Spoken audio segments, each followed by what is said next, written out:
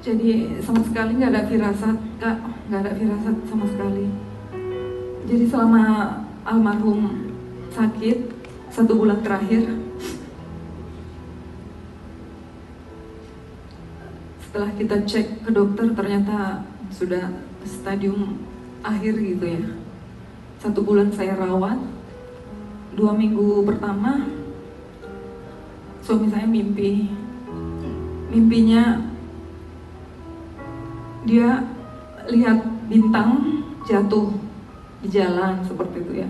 Jadi dia ambil bintang itu ada 8 eh, yang pastinya di bawah 10, 7 apa 8 seperti itu dia cerita mimpinya.